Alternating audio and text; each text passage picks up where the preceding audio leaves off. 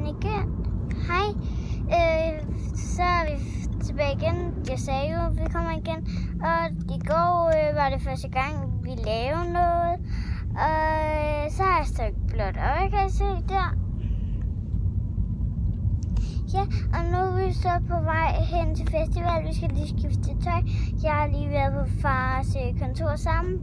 Og øh, så skal vi lige skifte tøj. Og så kører vi over til festival. Og så skal I lige øh, se, hvad jeg har fået. Se her, der er sølv og guld på, fordi det er min yndlingsfarve. Og øh, det er ligesom en genbrug. Og øh, og øh, det her det er så min nabos hus, og det her det er hvor vi bor. Der er min mor kommet hjem, kan jeg se.